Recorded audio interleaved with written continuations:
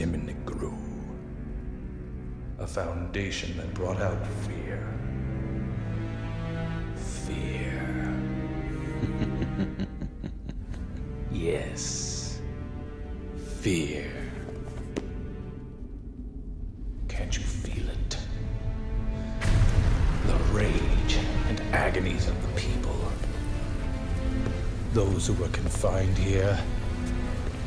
With their desires for evil being unfulfilled.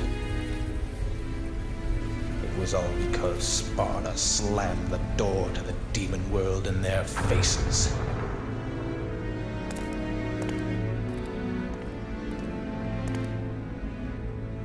What's wrong? Nothing.